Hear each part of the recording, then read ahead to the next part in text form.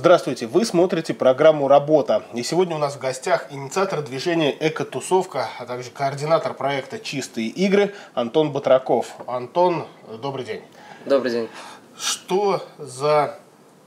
Вернее, давай начнем издалека совсем. Угу. Почему вдруг эко-тусовка, чистые игры, ну, я так понимаю, все связано с экологией. Почему вдруг экология?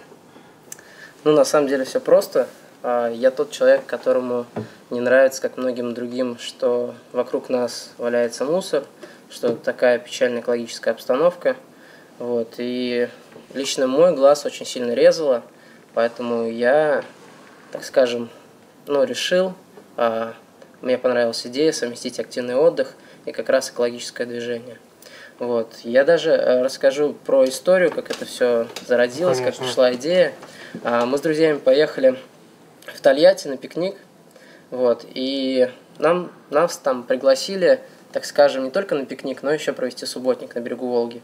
Мы приехали в Тольятти, и ну, у меня такая мысль возникла, как бы, в Ульяновске не проводим субботники, а в Тольятти на субботник поехали. Но как-то uh-huh. нелогично получается. Вот. И после субботника мы играли в лучные бои. То есть это Арчибальд, а, на концах стрел такие мягкие подушечки, uh-huh. чтобы было, соответственно, не больно и не травмоопасно. Вот. И после того, там, как я вернулся в Ульяновск, а, мне очень понравились Жигулевские горы, природа Тольятти. И я подумал, ну что лично я могу сделать для нашего города. Вот. И, соответственно, как бы все сложилось, и пришла идея совместить как раз экологию и активный отдых. Ну, то есть все начиналось с такой активной жизненной позиции все-таки, когда да. возникла мысль, кто если не я. Да, да, да. Я стал думать, как бы, что лично я могу сделать. Я не могу не изменить там, а, не улучшить асфальт, там, я не знаю, не улучшить архитектуру в городе, но я могу изменить экологию. Я четко это понял. И после того, как я пришел с работы, эта мысль возникла у меня, когда я шел на работу. Вот, я уже создал пост, написал о своей идее в соцсетях, а, собрал больше 80 репостов, Угу. Там реально большой охват людей получился, и люди стали вовлекаться, писать, там, что мы там можем предоставить оборудование совершенно бесплатно, там под музыку убираться веселее, угу. вот, мы готовы поучаствовать в мероприятиях, и вот все как-то так пошло-пошло, и там буквально мы через неделю первое мероприятие организовали. Оно было небольшим, там было порядка 20 человек, но что самое приятное было, наверное, что примерно 60% участников я не знал. Mm, то, есть, то есть абсолютно незнакомые люди. Да, да, да. То есть на каждое последующее приходило порядка вот 60% совершенно незнакомых, которые до этого не были ни разу. Ну, вот. соответственно, наверное, после первого мероприятия на второе приходил уже, э, приходили уже те, кто был на первом, плюс э, новые незнакомые ну, не люди. все, потому что это мероприятия проходили летом, и летом много народу уезжает периодически. Угу. Вот. И летом, как я понял, что все-таки народ собирать достаточно тяжело. Потому что основной, так скажем, пул мероприятий у нас проходил осенью. Их порядка было даже шести. А летом у нас всего два мероприятия прошло. Вот. И чем, чем чаще мы стали проводить, тем больше людей стали, стало к нам обращаться, что там и вот тут бы хорошо устроить, и мы там готовы поучаствовать, еще что-то. Ну вот э, контингент, кстати, из э, приходящих людей, это, э, я так считаю, раз уж связано все и завязано на какой-то еще дополнительно активный отдых, я так думаю, молодежь. Не совсем так. Не совсем. Да, приходит и молодежь, и школьники, приходят и молодые так скажем, родители и не очень молодые родители с детьми. Вот, приходят педагоги там, с каких-то учебных заведений, причем со студентами. И студенты приводятся добровольно, они там в принудительном, так скажем, порядке. Вот, и все остаются очень довольны, и после там мероприятия они там говорят спасибо, это было реально очень круто, это был реально полезный и классный отдых, самые полезные выходные. А вообще, как считаешь, вот э, ну, складываются у нас весной, проводятся там общегородские субботники. Угу. Многие считают это пережитками прошлой эпохи, угу. когда, ну, а, чего выходить на улицу убираться, пусть кто-то другой это делает. То есть вот сейчас есть проблема донести до молодежи, что вот, ребята, именно вы можете исправить ситуацию. На самом деле проблема есть. Вот буквально а, неделю назад выступал на одном из мероприятий в Оксаковке. Там было порядка 50, 50 студентов из средних а, специальных учебных заведений. И был не только я, там было порядка еще трех спикеров, и активности вот на самом мероприятии вообще никакой не было. То есть э, там на вопрос, там, а могли бы вы, либо там, а участвовали ли вы, то есть ну, никто не поднимал руки. Они тихонько сидели, слушали, но никак не участвовали. И проблема реально есть, донести, что а, именно роль личности, точнее, а, личная ответственность, она очень важна и реально существует такая проблема. Угу. Как выбираются территории, куда, так скажем, высаживается ваш десант? Угу. То есть э, как-то обрабатывается информация в целом по городу, угу. самые сложные участки, где-то жители просят. На самом деле это тоже отдельная история, потому что тоже расскажу, как мы выбирали участок перед уборкой а, на чистых игр. Порядка, наверное, 8 мест я съездил лично, абсолютно там все обошел, потому что много а, факторов влияет на выбор места. Это и подъезд грузовой машины, чтобы можно было вывести мусор, и электроснабжение, и другие там, э, так скажем, параметры. То есть это количество мусора, потому что на чистых играх участвовал порядка 100, там, 130 человек. И если там мусор будет мало, то люди останутся недовольны.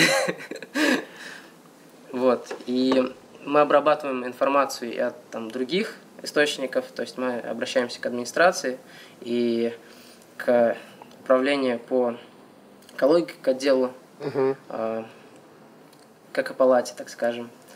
Вот. И с народом общаемся, и вот всю эту информацию агрегируем, обрабатываем, сами ездим и уже непосредственно сами выбираем. Ну вот какие места прошли? Я помню разве mm. что, по-моему, на Голубом озере. Mm-hmm. Вот э, там была одна из акций. Где еще вас можно было заметить? На Голубом озере мы на самом деле проводили две акции. Вот, и мусора там осталось еще на несколько, порядка, наверное, пяти. Вот. А также мы убирались на Черном озере, а потом убирались на берегу Свияги, а сажали деревья и убирались в парке Прибрежном, за парком Прибрежным. Угу. Вот. И, наверное, все. Потому что на, чист... на Черном озере мы проводили несколько мероприятий тоже, как и на Голубом озере. Потому что периодически, периодически мусор там появляется в большом количестве. Ну, то есть все равно, я так понимаю, места выбираются такие, где все-таки люди привыкли, так скажем, отдыхать, куда ходят, э, куда выходят с детьми, на велосипедах, может быть, катаются. В целом просто выйти, там, насладиться природой, правильно? Да, максимальное количество вот пребывания людей, оно, соответственно, и сказывается на окружающей среде. Потому что то же самое Черное озеро, когда мы последний раз убирались, там было порядка 50 отдыхающих, и мы буквально там чуть ли не через них перешагивали, чтобы там собрать этот мусор. И люди отдыхали буквально в метре от мусорной вот кучи и делали шашлыки. То есть и много народу было с детьми, и их не смущала вот эта вот, как бы окружающая обстановка. Ну, люди, люди нормально отдыхали. Никто не изъявил желания присоединиться, там, глядя, как люди пришли, убираются и при этом получают удовольствие. Буквально одна женщина, наверное, взяла у нас мешок и сказала, что я сама за собой там уберу. Все остальные только смотрели удивленно и спрашивали, вам за это деньги платят?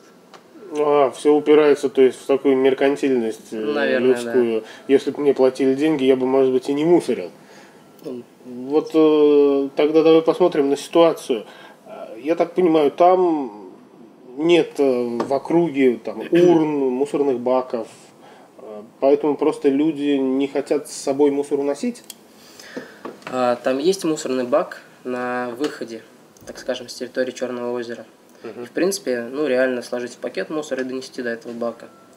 Вот. Я бы не сказал, что все упирается в это. Все упирается в воспитание, так скажем, в какие-то устойчивые уже э,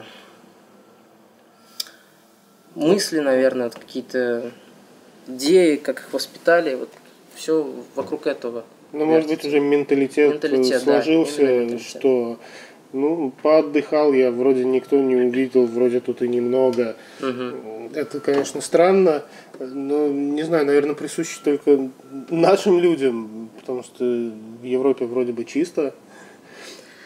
Ну, это только вроде бы, я думаю. То есть есть к чему стремиться. Да. А как считаешь, можно изменить э, вот именно менталитет отношения человека? То есть, и если можно, то какими методами? Я думал об этом перед тем, как вообще что- что-либо организовывать. э, Как раз была идея э, изменить менталитет людей. Но не за один год, а там за 5, 10, 15 лет. Но над этим нужно работать. И вот как раз глобальная идея была изменить менталитет народа. Вот. Какими методами э, мы также планировали и проводить массовые мероприятия, чтобы народ видел, что другие убирают, что убирают за ними простые люди не за деньги, что не стоит загрязнять окружающую среду, какие результаты из этого выходят. Там, один бросил банку, там, второй бросил. И вот так образовываются кучи и несанкционированные свалки. Вот. Помимо этого, это и социальная реклама, и СМИ, и печатные СМИ, и телевизионные СМИ. То есть абсолютно все, так скажем, каналы планируется применять для того, чтобы постепенно-постепенно менять менталитет людей. Общаться как раз и со школьниками, и с студентами, как раз вовлекать их в наши мероприятия, для того, чтобы они сами через себя прочувствовали, что это такое. Мгм. И вот э, смотри, проект «Чистые игры». Э, Я как понимаю, любая игра э, п- подразумевает под собой, что должен быть победитель. То есть вообще, как э, организованы чистые игры, э, что там происходит и как там можно победить? А, Чистые игры – это соревнования по раздельному сбору мусора. Вот. Победителем на самом деле является каждый, кто пришел, потому что он уходит оттуда не с пустыми руками. А так, а, у нас есть, конечно же, места, первое, второе, третье, есть разные номинации. Вот. И люди, которые приходят, они попадают, так скажем, в шоу, реально в соревнования.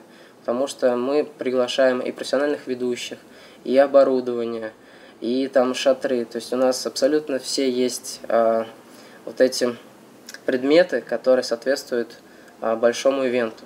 Ага. Вот. И мероприятие проходит, наверное, порядка трех часов. Там есть и фитнес-зарядка, есть и какие-то мастер-классы. Вот лично мы приглашали фитнес-тренера, который ну, проводил зарядку, и а, девушку, которая нам устраивала танцевальный, танцевальный мастер-класс. Планируем в дальнейшем и там курсы скорой медицинской помощи. В этот раз мы приглашали Центр СПИД, чтобы и еще больше, так скажем, ценности дать. И вот Центр СПИД, так скажем, проводил а, экспресс-анализы на ВИЧ. И больше 50 участников как раз дали анализ, и, слава богу, там все здоровы оказались. Э, Но это как командный вид спорта или личный зачет? Это да, это командный вид спорта. Команды разделяются на ну, по 4 человека. И как раз участвуют, они выбирают свое название. а, Соответственно, им выдаются специальные бейджи. Вот. И за каждый отдельный там, вид мусора, например, за металл дается 3 балла, там, за стекло 2 балла, за пластик 1 балл. Вот. И потом в общем зачете считаются все эти баллы и как раз награждаются победители. Мгм. Ну, то есть в любом случае там в конце приезжает машина, все это скидывается туда. Да, да. все по-серьезному. Тогда э, теперь о движении эктусовка. Э, вот это, я так понимаю, оттуда вырос и проект и прочее. То есть это объединение людей, э, которые задались целью сделать город чище. Ну, изначально эта тусовка состояла только из меня одного.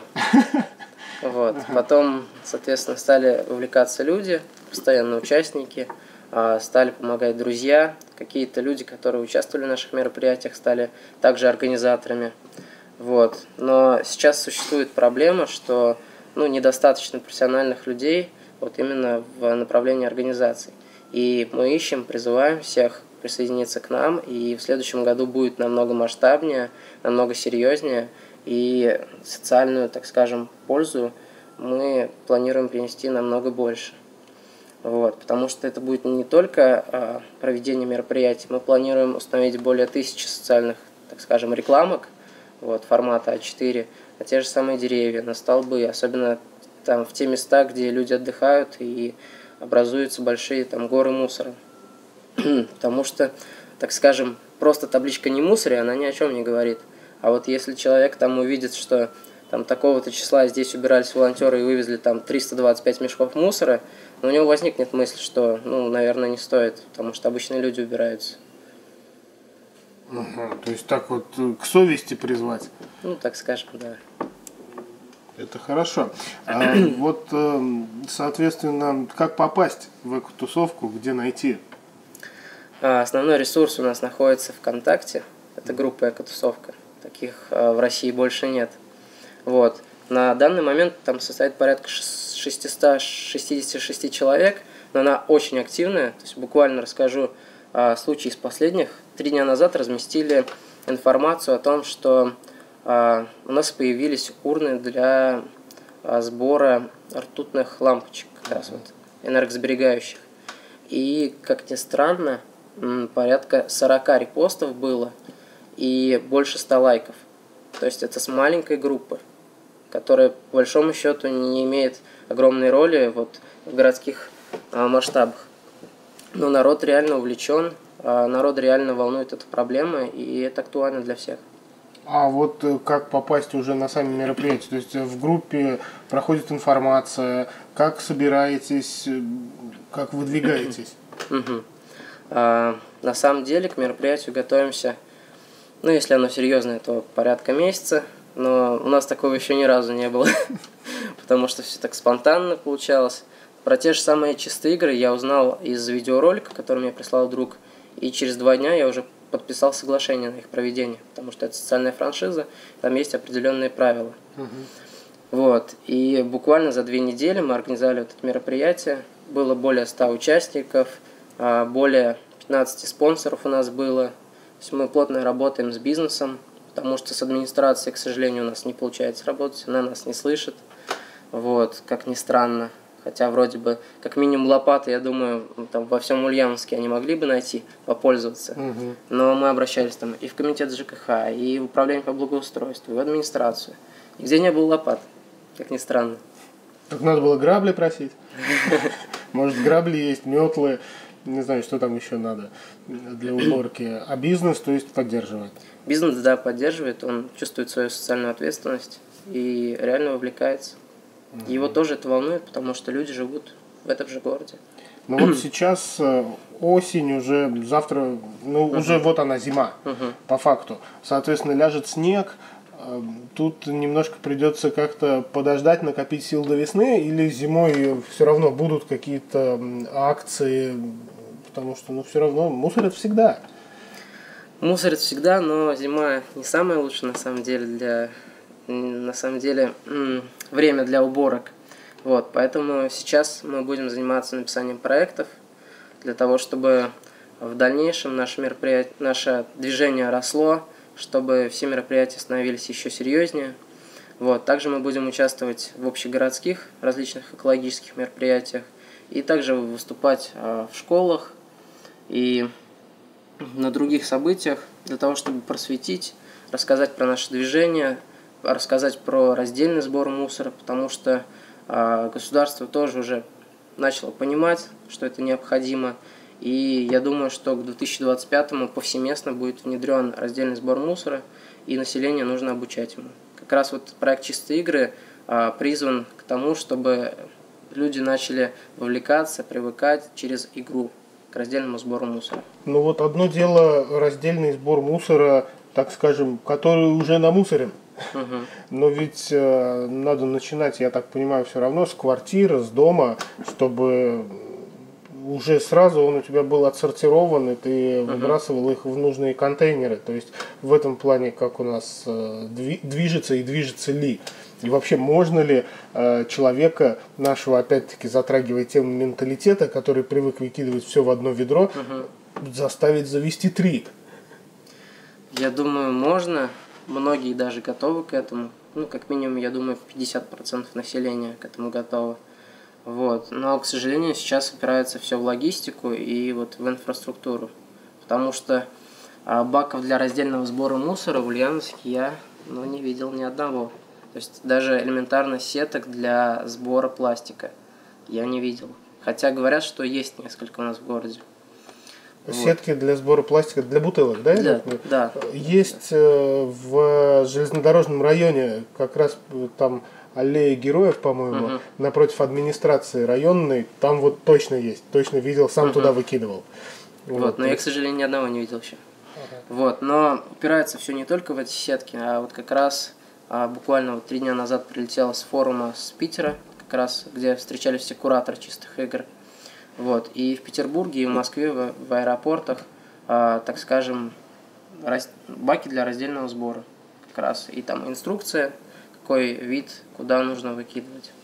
И вот я думаю, что нужно как раз двигаться в этом направлении. И все силы, ресурсы тоже, так скажем, агрегировать Мгм. для того, чтобы решить вот эту вот проблему. Ну, я так понял, как раз э, начал заниматься ты этим вот летом, то есть первые две акции. Сейчас э, есть возможность начать в самое, что ни на есть нужное время, весной. Мгм. То есть э, уже прикидываете, какие места, туда же вернетесь, где были, или уже что-то новое будет? А, Места будут разными, форматы мероприятий тоже будут разными, то есть это будут и чистые игры, и эко-тусовки, потому что эко-тусовки это все-таки, так скажем, мини-формат, там до 50 человек. Вот, он позволяет и пообщаться лично, и, познакомиться с людьми, и поучаствовать самому в мероприятии, потому что формат чистых игр мне не позволил, так скажем, насладиться э, всем удовольствием и адреналином, который был вот у тех участников э, мероприятия.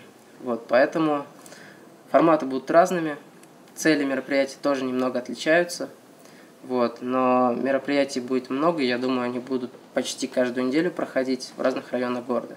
И мы хотим э, организовать несколько мероприятий, то есть их порядка будет, наверное, 5-10 одновременно в разных точках города. То есть э, при этом как-то, наверное, поддерживая между ними еще связь э, для, так скажем, подстегивания интереса. Да. Потому да. что э, когда тебе говорят, что а вот в железнодорожном районе ребята что ударнее работают, чем вы, да, у них там все веселее и как-то уже задевает. Ты тоже убираешься, а там кто-то это делает быстрее. То есть все равно на соревновательность такой упор серьезный делается. Да, опыт такой уже был, и вот мы хотим попробовать у нас в городе.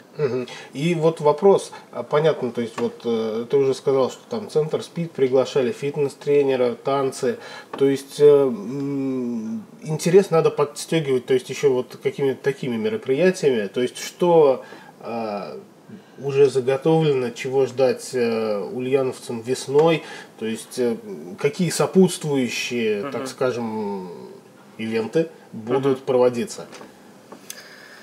Э, Хороший вопрос. Э, Весной у нас будет проводиться, наверное, в первую очередь, если говорить чистые игры. Э, И вот в рамках чистых игр у нас ну, планируем пригласить там музыкальные группы уже. То есть это будет не просто диджей, это будет выступление. Вот, мы планируем летом провести экофорум, так скажем, экофестиваль. Мгм. Вот. И на экофестиваль уже пригласить а, очень много различных и движений, и, так скажем, людей, которые а, любят свое дело и занимаются им. То есть это и там, не знаю, и лучники, и те люди, которые изготавливают что-то руками. Вот. Те люди, которые увлечены нашей, так скажем, древнерусской культурой. И вот людям показать всю красоту а, нашего мира вокруг, природы и нашей русской души. Тогда вопрос, а, как вот разграничить, что... а, Потому что понятно, кому-то больше будет интересно выступление группы. То есть э, вот как суметь так организовать время, чтобы на самом деле люди вот послушали музыку, например, дальше продолжили убираться, а они такие, нет, я хочу еще. Мне тут вот показывают, э, как стрелять из лука, я хочу стрелять из лука, я не хочу убираться, я пришел ради этого на самом деле. Но на самом деле все, так скажем, площадки, они будут а, проходить параллельно. Вот. И человек, если а, ему интересно что-то одно, он будет оставаться на этой площадке там все свое время. Если ему интересно что-то еще, он будет просто гулять по всей территории и вот как раз увлекаться в разные, в разные, в разные направления. Все-таки кому что по душе. Да, да. Ага. Э, ну и э, вот в России был год экологии, угу. поэтому не могу не спросить, вообще хорошее начинание, нужное, как э, знаешь, может быть, какие-то результаты, что сделано, как угу. он прошел? Ну, когда мы начали проводить мероприятия, мы даже не знали, что у нас год экологии. Поэтому мы проводили не под эгидой года экологии, а вот именно под теми проблемами, которые уже накопились, и они видны, так скажем, всем людям. Вот. Если говорить, что сделано, было проведено 8 мероприятий, а, более 300 человек поучаствовало в них, а, было собрано более 800 мешков мусора и привлечено больше 25 спонсоров. То есть мы понимаем сейчас, какие у нас есть зоны роста, какие там моменты мы вообще упускали, и вот, так скажем, все вот эти мероприятия, которые проходили, они создавались на коленках. Uh-huh. Вот, хотя, может быть, они выглядели так шикарно, они реально доставляли удовольствие людям, приносили какую-то пользу, но делались они на коленках. И в дальнейшем, вот в следующем году мы планируем сделать это все серьезнее, на уровень выше, и помощь всех организаторов там с 38 регионов у нас уже будет. Угу. А там на уровень ПФО выходить, например, межрегиональная угу. тусовка, приглашать ребят э, с соседних регионов? Да, отличный вопрос. А, были идеи а, как раз на экологический фестиваль пригласить лидеров движений различных ну, экологических движений. То есть это и лидер движения «Мусора больше нет», и лидера пензенского движения. А, сейчас скажу, как она называлась, по посадке деревьев. Не буду, не буду ну, врать. Ладно. Да, неважно. И собрать вот всех этих людей, которые придумали, которые собрали кучу людей вокруг себя, которые продвигают идею и м, дают ценность народу и вообще всей нашей стране. Чтобы люди наши, наши граждане, жители нашего города, познакомились с ними и тоже увлеклись, прониклись этой идеей. И если говорить про экотусовку, то планировалось реально сделать не только городское мероприятие, но и выходить в другие регионы и э, сделать так, чтобы в каждой, так скажем, в каждом регионе нашей страны э, проходила экотусовка, и мы готовы поддерживать, помогать всем, чем можем. Ну что ж, Антон, э, всяческих только успехов хочется пожелать в таком важном, нужном деле, э, чтобы на самом деле как бы э, количество участников росло, чтобы люди действительно uh-huh. получали удовольствие, при этом делая общественно полезное дело, отдыхая и, и душой, и телом при этом на мероприятиях. А телезрителям я напоминаю, что сегодня у нас в гостях был инициатор движения «Экотусовка» и координатор проекта «Чистые игры» Антон Батраков.